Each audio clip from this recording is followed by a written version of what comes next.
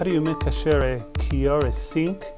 You need to clean it very, very well. You put hot water on it three times, and then it's kasher ready for Pesach. Easy. Baruch Adonai לעולם, Amen.